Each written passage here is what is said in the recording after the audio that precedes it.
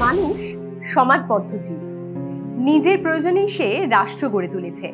আর তাই জনগণের কল্যাণ করাই রাষ্ট্রের মূল উদ্দেশ্য। এই ধারণা তোমরা রাষ্ট্রবিজ্ঞান পড়ার শুরুর দিন থেকেই পেয়েছ। রাষ্ট্র কি? সে সম্পর্কেও তোমাদের ধারণা আছে। তবে এবার তোমাদের বলব রাষ্ট্র নিয়ে মার্কসের মতামত কি ছিল? দেখো, মার্কস বলছেন যে শোষক শ্রেণির নিরাপত্তার জন্যই রাষ্ট্র নামক যন্ত্রটি তৈরি হয়েছে।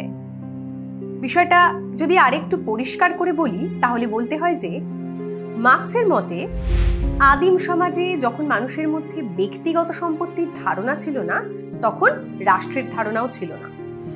মানুষ একসঙ্গে শিকার করত, ভাগাভাগি করে খেত।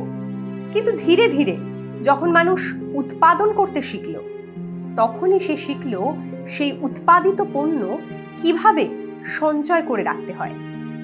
তার মানে মানুষের মধ্যে এলো সম্পত্তির ধারণা। মানুষ বুঝল ব্যক্তিগত মালিকানার অর্থ। সেই সঙ্গে উঠে এলো এই ব্যক্তিগত সম্পত্তি সুরক্ষার বিষয়টিও। আর ঠিক তখনই তৈরি হলো রাষ্ট্র। মার্ক্সবাদীদের মতে রাষ্ট্র হলো এমন এক যন্ত্র যা শোষিতদের আরও শোষণ করতে সাহায্য করে আর শাসকদের রক্ষা কবচ হিসেবে কাজ করে। মার্ক্স এক কথায় রাষ্ট্রকে বলপ্রয়োগের হাতিয়ার হিসেবে দেখেছেন, তবে তা শুধু ক্ষমতাবান ও বিত্তবান মানুষের। এই হাতিয়ার ব্যবহার করেই সমাজের আরেক অংশকে শোষণ করা হয়।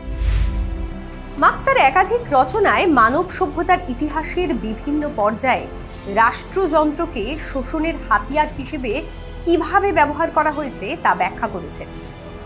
দাস সমাজ, সামন্ততান্ত্রিক সমাজ, পুঁজিবাদী সমাজ সর্বত্রই রাষ্ট্র শাসকদের শক্তি হিসেবে ব্যবহৃত হয়েছে। তবে মার্ক্সবাদীরা বরাবরই বলেছেন যে শ্রেণি সংগ্রামের মাধ্যমে যখন পুঁজিবাদী সমাজের অবসান ঘটবে এবং সর্বহারার একনায়কতন্ত্র প্রতিষ্ঠিত হবে, তখন সমাজে শোষণ থাকবে না। আর তাই রাষ্ট্রেরও কোনো প্রয়োজনীয়তা থাকবে না। কিন্তু এই পুঁজিবাদী সমাজ থেকে সর্বহারার একনায়কতন্ত্র প্রতিষ্ঠিত হওয়ার পথ কি? কোন পথে শোষণের থেকে মুক্তি পাওয়া যাবে? কি বলছে মার্ক্সবাদ? সে নিয়ে ফিরছি পরের ক্লাসে। সঙ্গে থেকো।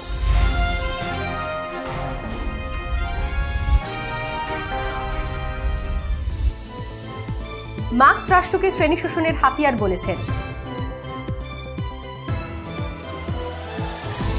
মার্ক্সীয় মতে, শাসকদের নিরাপত্তা দিতেই রাষ্ট্রের উদ্ভব।